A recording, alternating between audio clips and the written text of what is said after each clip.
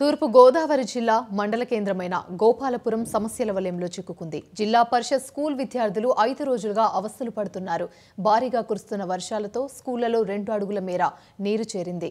స్కూల్లో ప్రధాన ద్వారం నుంచి తరగతి గదులు వెళ్ళే వరకు వరద నీరు నిలిచిపోయింది. స్కూల్ ప్రాంగణంలో నీరు ఎక్కువగా ఉండడంతో విద్యార్థులు తీవ్ర ఇబ్బందులు పడ్డారు.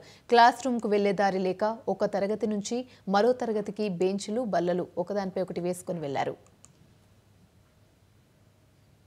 ఈ వర్షం పడడం వల్ల మోకాళ్ళ లోతుకి వరద వచ్చి వరద వచ్చింది. దసరా సెలవులు అయిపోయాక వరద ఉంది. పాములు గట్ట ఉంటాయని భయపడుతున్నాం. ఆడపిల్లలకి వాష్రూమ్కి వెళ్ళడానికి చాలా ఇబ్బందిగా ఉంది. గోపాలపురం మండలం.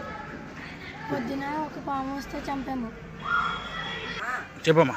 నా పేరు ధనలక్ష్మి నేను ఏడవ తరగతి చదువుతున్నాను. ఇది తూర్పుగోదావరి జిల్లా జడ్పీహెచ్ఎస్ స్కూల్. మాకు వాష్రూమ్కి వెళ్ళడానికి ఇబ్బందిగా ఉంది. పాములు వస్తున్నాయని భయం వేస్తుంది.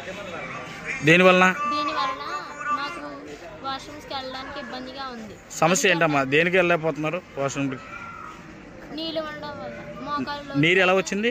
వరద